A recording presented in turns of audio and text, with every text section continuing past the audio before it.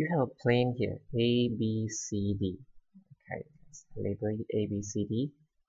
A B C D.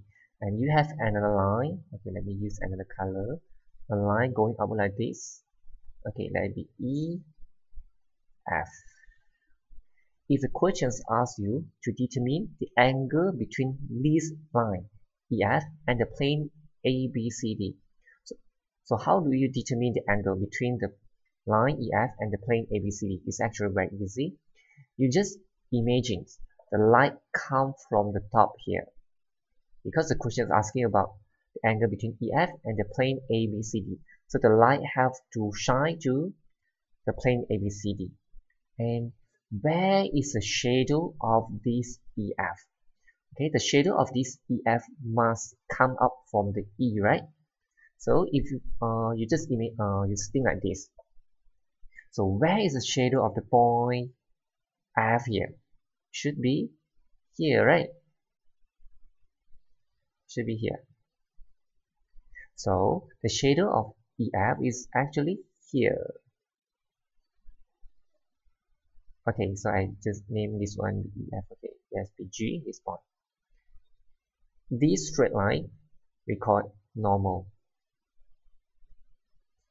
And the shadow of EF, EG, this one, actually we call it octagonal projection. Octagonal projection. So this is the angle that we want to find. This is the angle between the line EF and the plane ABCD. Okay, let's look at these questions. The diagram shows the cuboid. Name the angle between the line. Okay, we want this line AG and the plane ABFE. Okay, we go one by one. A G and plane ABFE. Okay, where is ABFE? A, B, F, E, right? So we have to imagine the light come from the top here. And the shadow of this AG must be here. Must start from A, right? And the shadow of vertex G will be here. So we just connect these two together. Okay, so we get the orthogonal projection of AG. So the angle will be, where's angle? G, A, F. This is angle that we want. Angle G, A, F. Okay, or you want to name it as FAG also can.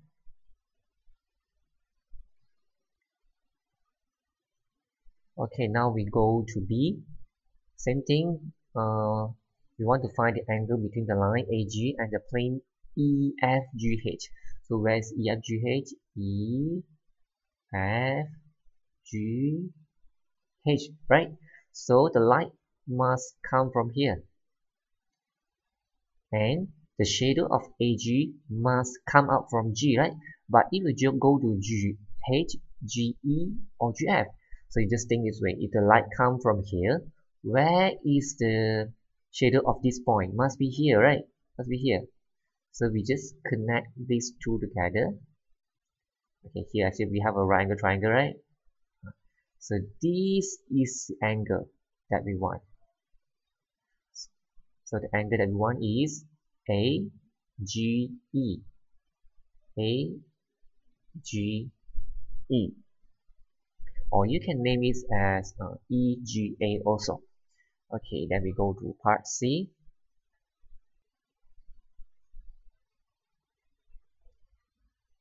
Now we want the plane ADHE so here's A D H E and using the same line AG. So we have to imagine the light come from here. Okay, so the light come from here and the shadow of AG, the octagonal projection of AG must come out from A, right? So if the light come from here, where uh, where is the shadow of the vertex G here? Must be here, right? Must be here. so we just connect A and H together okay we have a right angle triangle. Okay so the angle that we want is actually this line and the orthogonal projection of the line AG so it's here. Angle HAG HAG or you can also name it GAH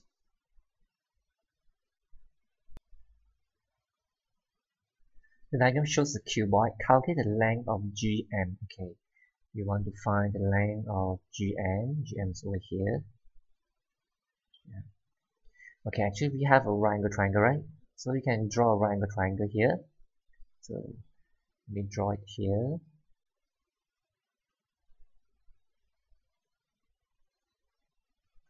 Okay, so this is G, this is K, and this is M. So if you want to find the GM, it's actually very easy. Using Pythagorean theorem, we know that it's 7 is 10. So GM is equal to 7 square plus 10 square square root. Okay, just press the calculator. 7 square plus 10 square square root it. You get 12.21 12.21 centimeter okay so this is part A very easy right? Okay now we go to part B. We want to determine the angle between the line GL okay so we want this line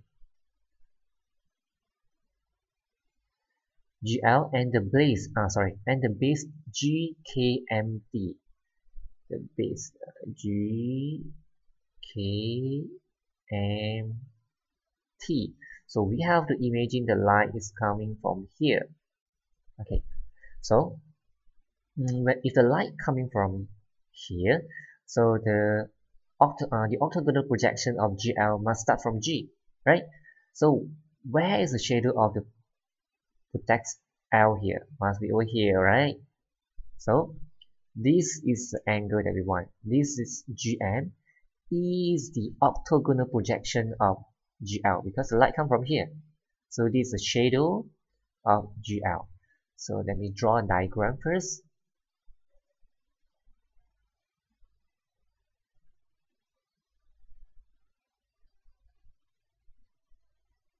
So this is L, this is G, and GM. GM is the orthogonal projection of GL. So the angle that we want is this, this angle and this is 90 degree. Ln we know this is 14 centimeter. And gm just now we got the answer. Is 12.21 centimeter. Okay now we need this angle. Okay we use tangent. Tangent angle LGM is equal to TOA right? Opposite. Divided by adjacent 12.21 okay then this one you just press the calculator. Then you will get the angle 12.21 okay shift uh, shift tangents uh, 14 over okay so you will get 48 degree 54 minutes 54 minutes. Okay now we go to the next part. The angle between the line same thing GL same line GL and the plane GKPJ okay let me erase some. Let me erase it.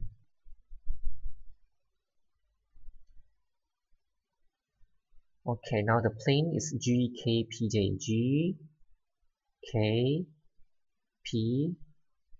GKPJ okay the light is actually coming from this one I erase okay now the light is coming from here. So when the light shine from here where is the octagonal projection of L? The orthogonal uh, sorry where the shadow of the vertex L must be here right? So this is the octagonal projection of GP is the orthogonal projection of L.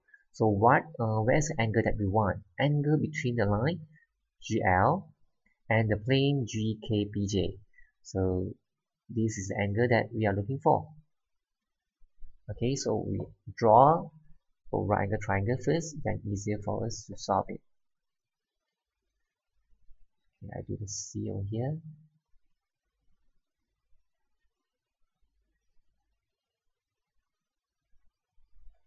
So this is P, right angle here, and this is L, this is G. Okay, GL is a line uh, that mentioned by the questions, and GP is the orthogonal projection of GL. So we are looking for this angle. Okay, so PL is 10 centimeter. You have 10 centimeter here. So what is PG? Now we don't have PG. Okay, never mind. We can find the length of PG using Pythagorean theorem. So this is J, this is P, and this is G. Okay, here is right angle. JG, JG is 14, JP is 7. Okay, from here actually we can get the G, uh, GP, right? So we know that GP is equal to 7 square plus 14 square square root. 7 square plus 14 square square root it. You will get 15.15.65. Uh, okay, now we know GP is 15.65. Okay, I put it over here, 65 centimeter. So we want to find this angle very easy use tangent. Tangent theta uh, PGL PGL is equal to TOA right? O opposite divided by the adjacent which is 15.65 so angle PGL is equal to okay this one arctangent you just press the calculator 15.65 okay. So 10 over 15 shift tangent okay so the answer is 32 degree 35 minutes. 32 degree 35 minutes. Okay very easy right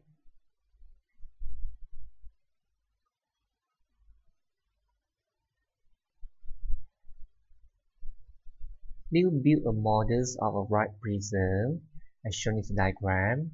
Calculate the angle between the line FH and the base and the base FLPT. Okay, this is FH. Now the plane mentioned by the question is F L P T, right? So the light must come from here. Okay, so just imagine when the light comes from here, where is the shadow of FH? Definitely will come out from F, right? And where is the shadow of the vertex H? Must be here, right? Must be here. Okay, means that we are looking, uh, sorry. So this is the octagonal projection of FH. Okay, let me label it as uh, PQ I I just label it as R okay so this is R. Okay so FR is the orthogonal projection of FH so and this is angle that we want. Okay I draw a right angle triangle first. So this is H this is R and F okay we are looking for this angle. So if you want to name this angle you can actually name it as HFL it's the same thing as HFR okay? So we want to find this angle. Uh, HR is 10 centimeter. This is 10 centimeter. FR FR is not 12 FL is 12 and here taken 4 here is 4 here is 4 so we know that here is actually 8 right? Okay we use tangent again. Tangent theta is equal to t o a. Okay press the calculator. Arc tangent tan over 8 okay.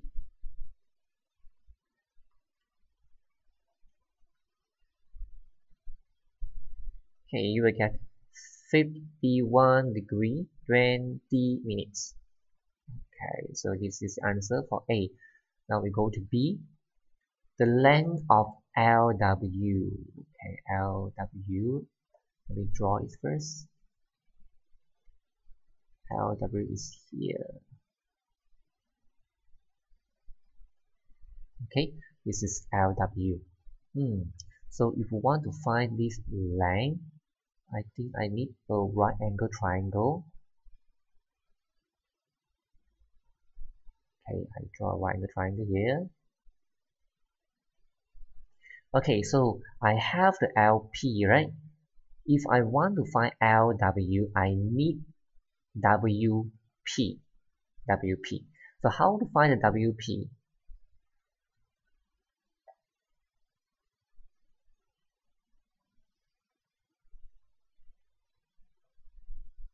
so this is q uh, this is w this is p. 10 centimeter 4 centimeter. So you want to find wp very easy.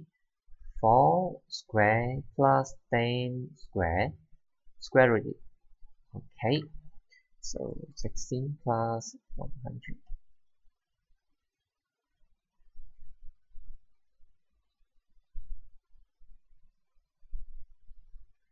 okay here you get uh, 10.77 okay? WP is 10.77 so you want to find LW okay I think this one I just uh, to be more accurate I don't want to round off it first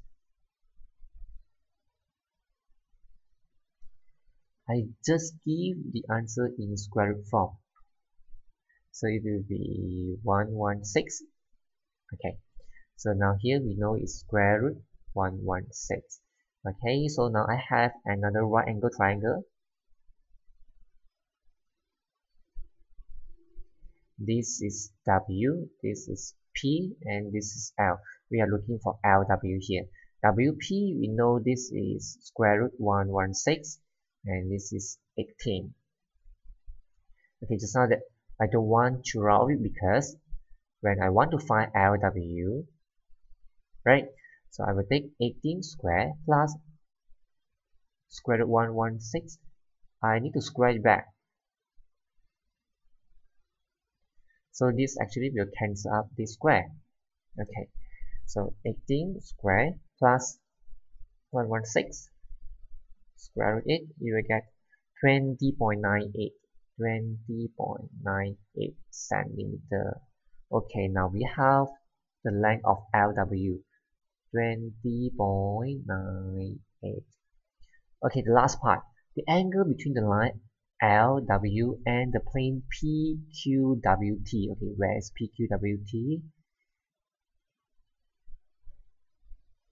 P Q W okay here's T.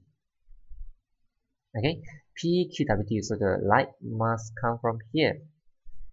LW the shadow of LW must come out from W right? So if the light come from here where is the shadow of the vertex L here? Must be here right?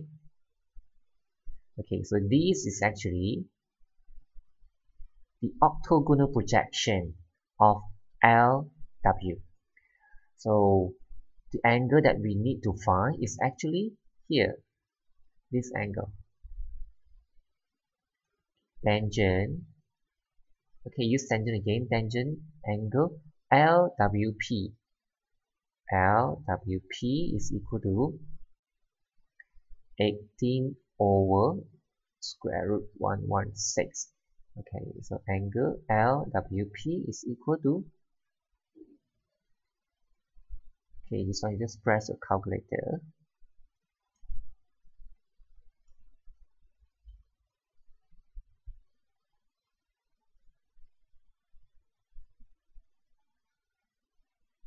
Fifty-nine degree six minutes. Okay, so we settled these questions.